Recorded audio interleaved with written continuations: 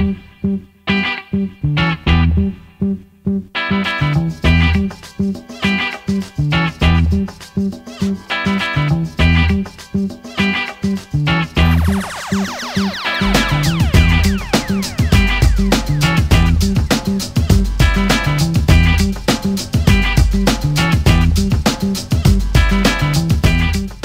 conditions que se dégrade ce midi sur les canaux, bonjour à toutes et à tous. Nous avons un temps qui est variable, les températures montent, on relève 19 à 20 degrés, la température de l'eau est-elle à 20 degrés, la marée est en train de descendre, le plein bas est à 14h25 avec des coefficients de 90.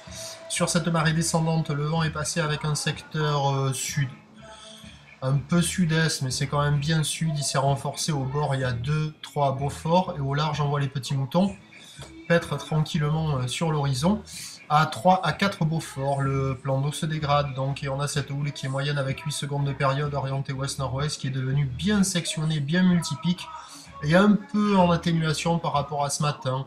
Il y a un déferlement régulier à 40 cm et sur les séries il y a 50 à 70 cm. Donc des lignes de longueur moyenne mais avec plein de pics dans les lignes des pics assez courts, un peu mous, des épaules euh, qui sont courtes et des pics qui se rejoignent, pas terrible, hein, en dégradation. Ça donne pas trop envie. La plupart des surfeurs cherchent où aller, il n'y en a pas beaucoup euh, qui trouvent de bons endroits.